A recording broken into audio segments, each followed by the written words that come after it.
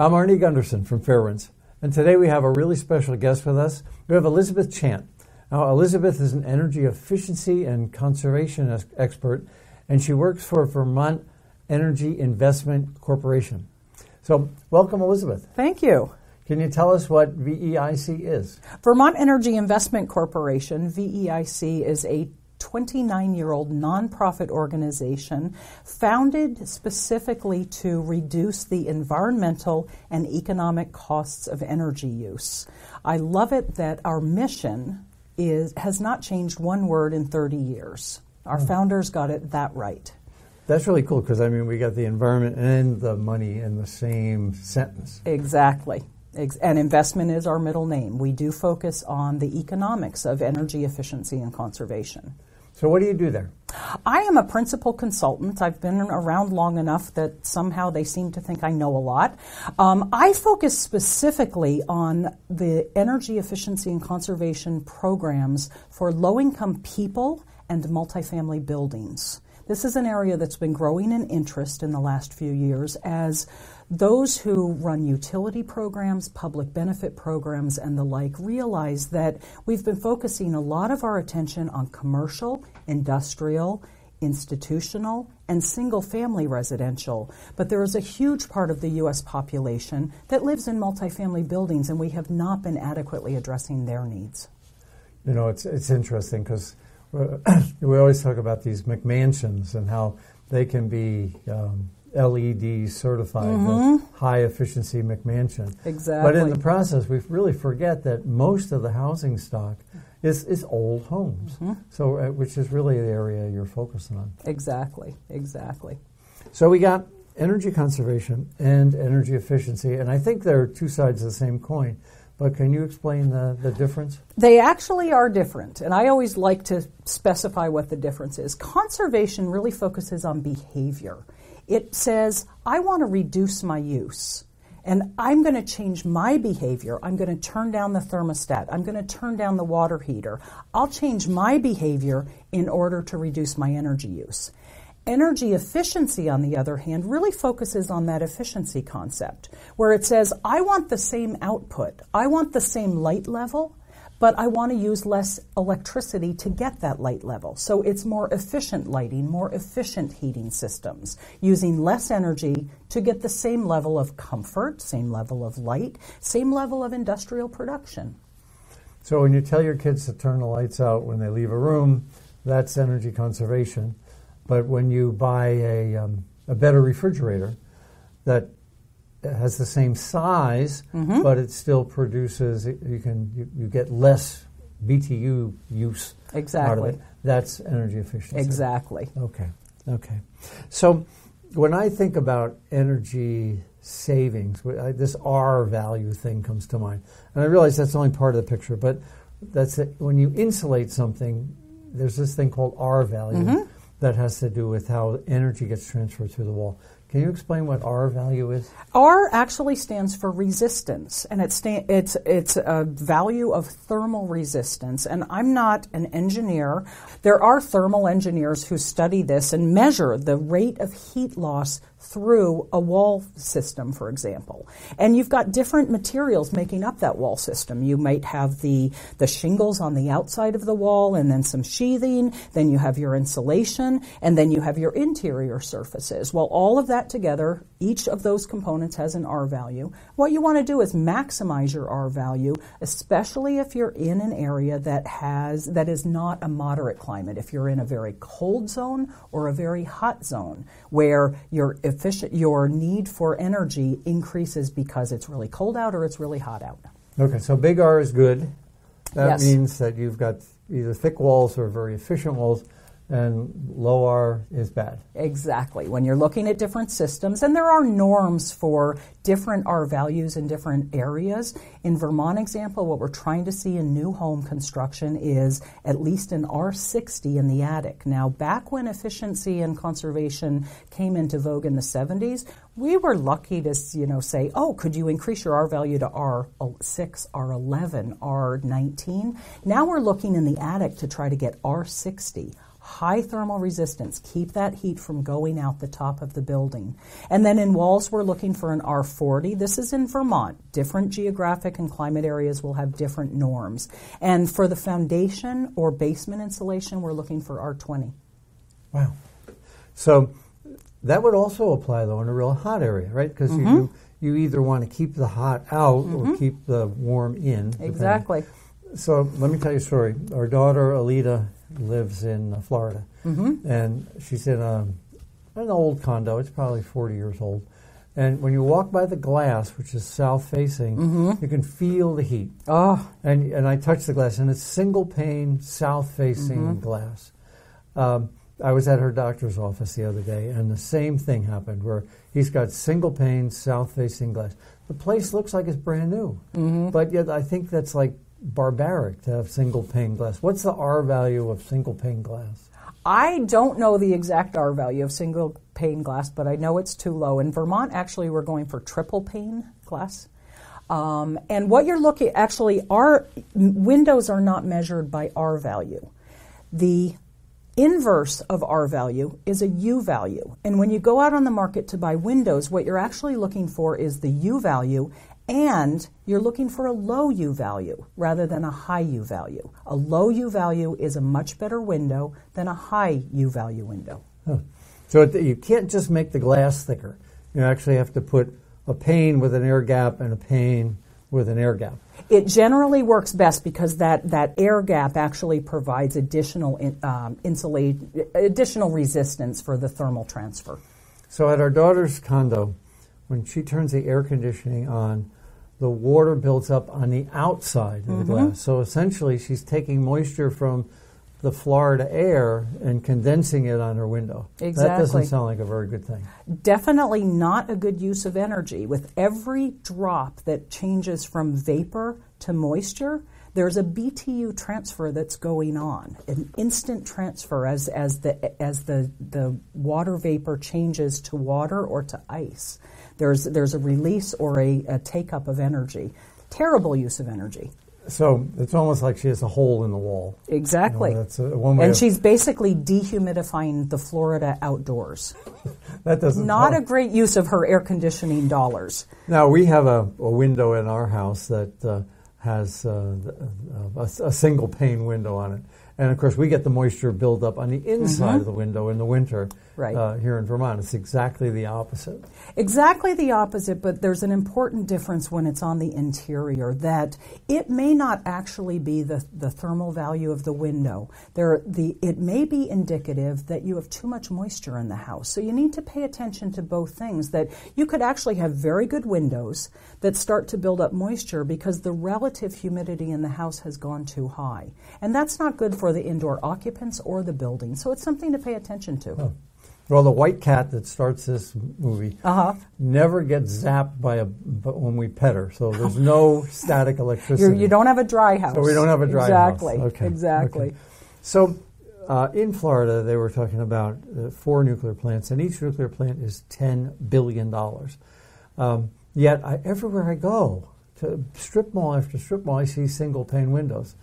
So I question if you, if we gave Elizabeth Chant ten billion dollars, would you spend it building a single power plant, or would you spend it on energy conservation? We would, at VEIC, we would focus on energy efficiency because it has been shown again and again and again through a, a documentation that I don't even begin to understand sometimes that the cheapest kilowatt hour is the one we don't use. And here in Vermont, where we have a very um, state of the art programming in electric energy efficiency, we actually produce energy savings at half the co- avoided cost of what it would take for the grid to bring it into the house. So, Efficiency Vermont basically is providing energy savings to Vermonters at about 4 cents a kilowatt hour, where generating that energy would take 8 cents a kilowatt hour. Wow, that's breathtaking. Yeah. So essentially, you're replacing two nuclear plants with that 10 billion that you would have spent to build one. If you went around and, and properly uh, uh, properly insulated Ex- uh, ex- housing stock. Exactly. There's lots of uses. Actually, again, here in Vermont, where we've looked at not just our electric usage that would come from something like a nuclear power plant or renewable sources or wherever it is generated, but we've looked at our thermal needs as well. And with some look at the building stock, it was determined that this is this is about three or four years ago, but it would take about eight hundred million dollars investment in efficiency to bring the building stock of Vermont to deep, deep energy reductions. Wow. So that's what that's would be the start of those ten billion dollars. Yeah. The start of what I would use them for. Wow, that's a breathtaking change. And of course, then you get all the environmental advantages of carbon reduction exactly. without building a new power plant. Exactly. Huh. Huh. So now let's look at the, the old housing stock um, anywhere in the country. It could be a major city, it could be here in Vermont, which is, you know, old housing stock is usually rental housing, is usually, mm-hmm. um, it's certainly not the McMansion that someone has the thick walls in. Um, you know, lower income people are living in those. Mm-hmm. What can a renter do in a situation like that to either put some heat on the landlord to change things mm-hmm. or to do it themselves? How can a, a, renter change their profile?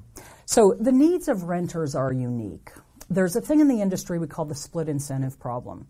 If a renter is paying their energy bills, then the property owner really doesn't have an economic incentive to invest in energy efficiency.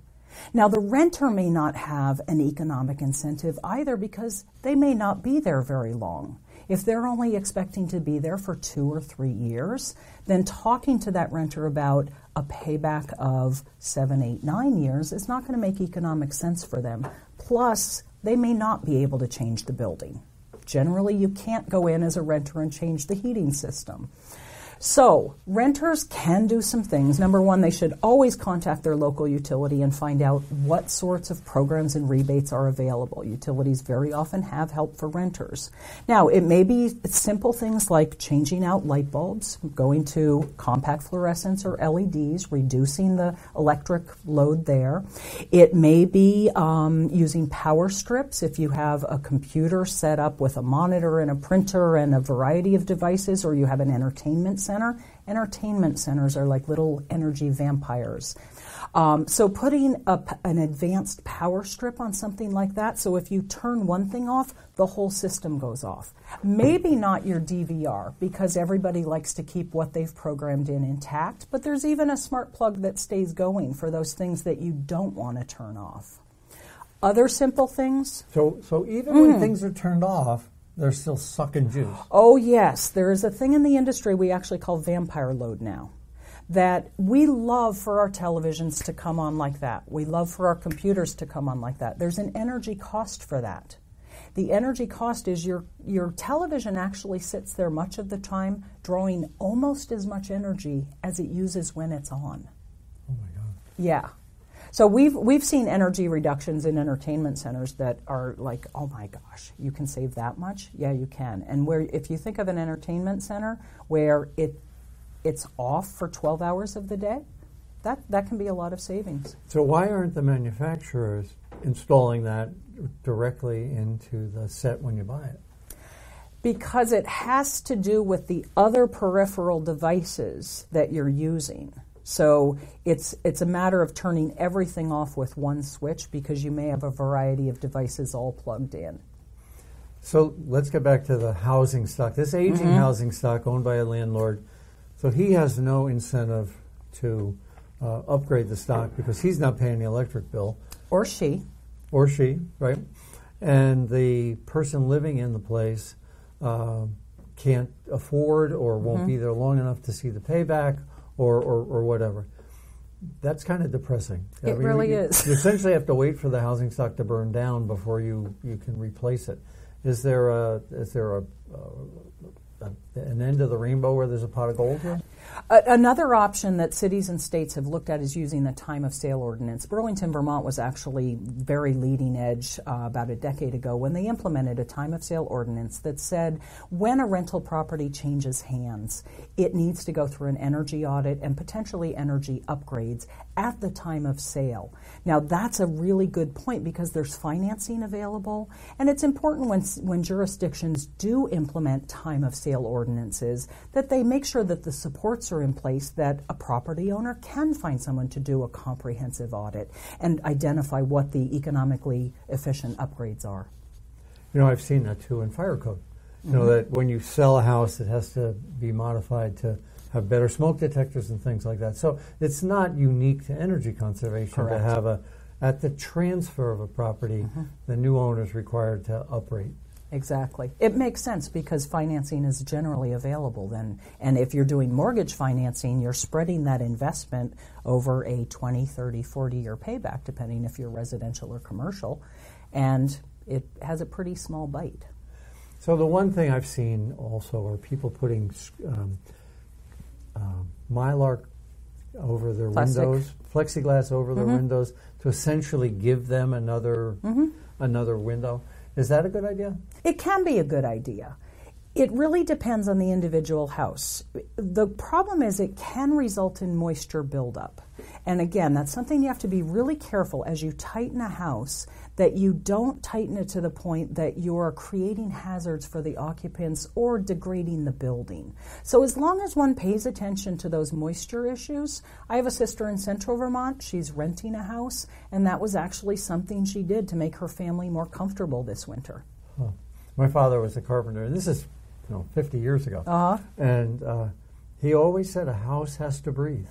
They do. And uh, you know, uh, he was not an energy efficient expert, but um, he understood that in order to keep a house structurally stable in mm-hmm. the long haul, it, it, had to get rid of its moisture. So I guess that's what you're saying. There's always that risk. Exactly. And what we say now is build tight and ventilate.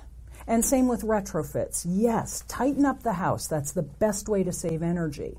But then ventilate it properly. And you may use heat recovery so that as you ventilate the air out, the heat ex- the heat exchange is going on, so you're saving some of that heat. But actually, building it tight and ventilating also has health benefits. Because one thing about the, the old houses that were built was we were never quite sure where the air coming in was coming from. Very often it was coming from down below, soil gases, radon, etc. were coming into the house and then going out with the ex- exfiltrated air. So it's important, actually, yes, build it tight, ventilate, but know where, you in, where your air is coming from. I have a Fairwind story to tell you. Um, about three years ago, after Fukushima, uh, one of our listeners bought a, a, a, radiation detector and went to his filter on his furnace and put the radiation detector against it, and the detector went nuts. Oh. And so they, they sent us an email, and, and we said, look, take the filter and put it in a bag and let it stay for five days and mm-hmm. do it again. Mm-hmm. And he said, there's nothing there. I said, thank God you got the radon detector, mm-hmm. the radiation detector. But it's not about Fukushima. Mm-hmm. You've got radon leaking into your building. Right. You've got to get rid of that. And exactly. so he was actually very thankful because he had very high levels of radon gas in his house because he built a tight house. Right. And a tight house is not a healthy house if there's radon leaking in. So exactly. there's a. It, it's interesting how the Fukushima disaster mm-hmm.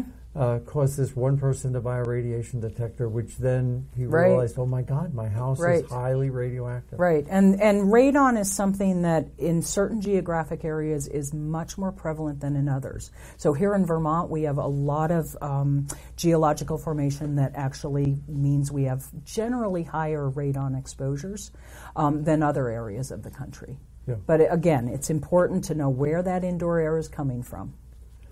The last question I'd like to ask you is this the, the issue of green energy and women working in, in green energy fields. And it's exciting to have you here because you know so much. Uh, can you talk about career opportunities for women in the energy fields? Absolutely. Uh, it is a great area of growth in the industry. Renewable energy, energy efficiency, energy conservation are all growing and create lots of opportunity.